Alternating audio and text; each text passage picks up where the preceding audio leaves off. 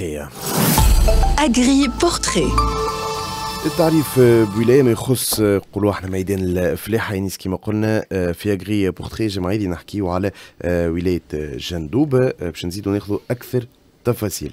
يعطيك الصحة. معنا ممثلة للمندوبية الجهوية للتنمية الفلاحية بجندوبة واللي هي السيدة مفيدة الشاوش واللي هي رئيس قسم الإرشاد والنهوض بالإنتاج الفلاحي بالمندوبية. مدام مفيدة مرحبا. شكرا سي أنيس بارك الله فيك وشكرا على الاستضافة. يعيشك مرحبا بك. ندخل طول في صلب الموضوع. كانت تعطينا فكرة على على الفلاحه في ولاية جندوبه نعرف فما برشا عبادكم من الجنوب ولا من الوسط ولا غيره ما يعرفوش بالضبط الفلاحه في جندوبه شنو نجموا نقولوا لهم عليها؟ في الأول باش نعطوا أهم الخصائص باش نسمى الولاية نتاع جندوبه المساحة الجمليه للولاية هي 310 ألف هكتار. قبل هذايا ساعة ولية جندوبة هي موجودة في الشمال الغربي لتونس. آه، المساحة الصالحة للفلاحة هي 399 ألف هكتار. موزع اللي عندنا الأراضي الفلاحية المحترفة 170 ألف هكتار. غابة الزياتين 30384 ألف هكتار.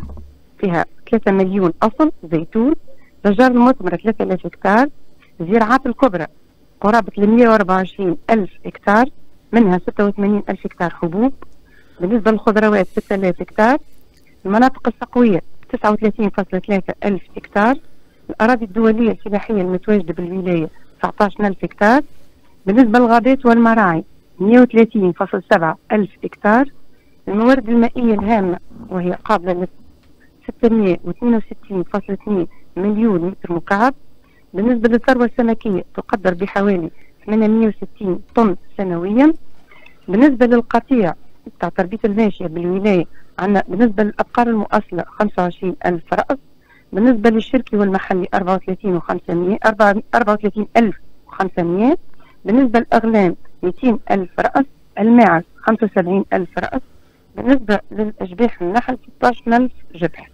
يعطيك آه بالنسبة لعدد المعاصر المتواجدة بالجهة عندنا 12 آه معصرة بطاقة جملية تقدر 629 طن وبطاقة خزن جملية تقدر ب 1095 طن. عدد مخازن التبريد بالجهة 18 آه مخزن آه بطاقة جملية تقدر ب 11590 طن. معدل الاستثمارات الفلاحية بولاية جندوبة خلال الخمس سنوات الفارطة 25 مليون دينار بمنح حوالي 7 مليون دينار. باش نعطوا نسبة المساهمة نتاع الإنتاج آه، ولاية جندوبة بالنسبة للإنتاج الوطني الفلاحي. عندنا بالنسبة لمادة البطاطا يمثل 12% بالنسبة لمادة الحبوب 14% اللحوم الحمراء 12% مادة الحليب 12% القوارص 3% الأسماك 1% إنتاج الزيتون 2% ومن 50 إلى 90% في المنتوجات الغابية تبارك الله. هاي تبارك الله. أنشطة معناها متنوعة في ولاية جندوبة. متنوعة وجندوبة بالأساس هي فلاحيه لكن نجدوا فيها مختلف القطاعات. أي حبيت نسالك توك مهدتي للسؤال الثاني تو نعرفوا آه، فيها عدة قطاعات وولايه فلاحيه بامتياز. كيفاش أثرت عليكم؟ تو نعرفوا إحنا بداية الموسم الخريف كان آه، جاف في تونس وأربع سنوات جفاف كيفاش أثر هذا على الانطلاقة نتاع الموسم الجديد؟ بالنسبة للانطلاقة خاصة بالنسبة للزراعات الكبرى من سبتمبر بدا بطريقة معناتها ضعيفة جدا معناتها خاطر ما ثماش كميات من الامطار اللي باش تشجع الفلاح باش يكمل الحراسة نتاعو وباش يعمل البذر خاصة بالنسبة للأعلاف لأن هي ديما تبقى قبل الحبوب. آه، لكن بعد توا في نوفمبر خلال الأخر جمعة نتاع نوفمبر بتسجيل كميات مهمة شوية من الامطار حسينا النسق نزيد معناتها. دونك الحراسة معناتها الفلاحه قاموا بالحراسة وتم حتى البذر وصل حتى قرابة ال 10% معناتها من المبرمج.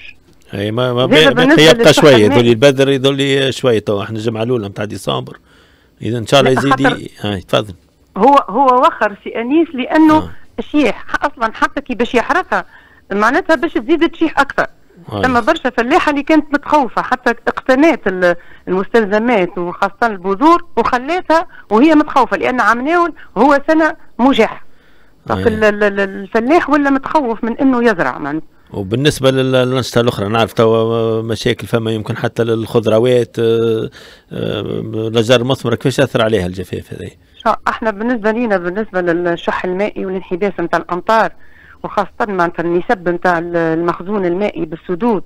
معناتها ضعف برشا. تو بالنسبة لنا إحنا أهم السدود اللي هي بوهرتما وملاق اللي إحنا معناتها في معناتها اللي هما أكثر ناخذوا منهم الماء معناتها للخضروات خاصة والكل.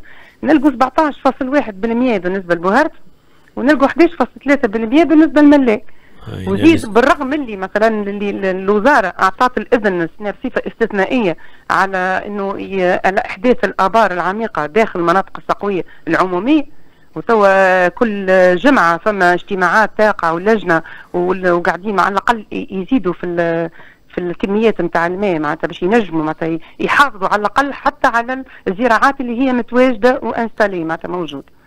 من أخو من اشجار مثمره ومن حتى الاعلاف بالنسبة لتربية الماشية ومن معناتها حتى الحبوب باش نحاولوا على الأقل معناتها نحافظوا على بعض الإنتاج معناتها من الحبوب. إن شاء الله ربي يرحمنا. نكمل معاكم بسؤال أخير. لو كان تعطينا فكرة إحنا كما قلنا آه، في التقديم تاع الحصة غدوة اليوم العالمي للتربة آه، تحت شعار تربة في في دورة المياه كان تعطينا فكرة حول المشاريع المحافظة على المياه والتربة في ولايه جندوبة. والله أهم مشاريع عندنا عندنا بالنسبة للمشروع الأولاني هو ProSol اي هذا باش يكون باش نحكيو عليه بعد الأخبار إن شاء الله معنا زوز ضيوف باش يحكيوا لنا بالتفاصيل على ProSol اي واصل تفضل. هو حين هو مشروع حماية وإعادة تأهيل التربة المدهوره في تونس. ما عادش تحب نعطيك الأهداف نتاعو؟ لا message باش تقدموا له خي أنا احكي لي بصفة عامة المشاريع الكل وش عندكم إحنا حتى. بالنسبة لنا المشروع هذا بالذات معناتها اللي إحنا déjà نساهموا به حتى كقسم إرشاد. داخلين لأنه ثم خليط الإرشاد الفلاحي في البراني لأنه هو يمس آه، زوز عمادات اللي هي غزالة وبلعابه آه ثم زاد اتفاقية ما بين المشروع ما بين GIZ وما بين ال ProSol وما بين ال INGC المعهد الوطني للزراعات الكبرى اللي فيها برشا تحسيس وبرشا إرشاد للفلاحة خاصة بالنسبة لعقلنه التسميد بالنسبة للممارسات الجيده بالنسبة للتشجير هذاك حكاية الزيتون واللوز. ثم معناتها surtout على المحافظة وتحليل التربة باش يعرف كيفاش يخط مثلا الاسمده والكل وينجم ينقص حتى من كلفة الإنتاج نتاعو. وبالنسبة للمشاريع نتاعكم العادية نعرف فما برشا أشغال نتاع محافظة على المياه والتربة مثلا في 2022 ولا 2023 شنو اللي عملتوا بالضبط في ولايه جندوب؟ بالنسبة لل لحظة واحدة في انيس مثال بصورة عامة من غير ما ندخل في التفاصيل نحبوا ناخذ فكرة فقط. هما بالنسبة لي ثم تهيئه المصبات ثم صيانة وتعهد غراسات المنشآت ثم إنجاز الأشرطة الحجرية ثم عديد ال ال ال الأشغال اللي تقوم بها دائرة المحافظة على المياه والتربة معناها. خاصة معناتها جهر الأودية عندنا زاد آه واضح. مثلا كل ما يخص المحافظة على المياه والتربة كل ما هي أشغال وكل ما البرامج الوطنية الكلها قاعدين يقوموا بها على أحسن وجه معناتها في الولاية. يعطيك الصحة السيدة مفيدة الشاوش رئيس قسم الإرشاد والنهوض بالإنتاج الفلاحي بالمندوبية جوية التنمية الفلاحية بجندوبة. نعطيك الصحة على كل هالمعطيات اللي عطيتها لنا إحنا باش نربطوا مع الموضوع نتاع المحافظة على المياه والتربة آه، في أجري فوكوس آه، مباشرة باش نقدموا الإدارة العامة للتهيئة والمحافظة على الأراضي الفلاحية.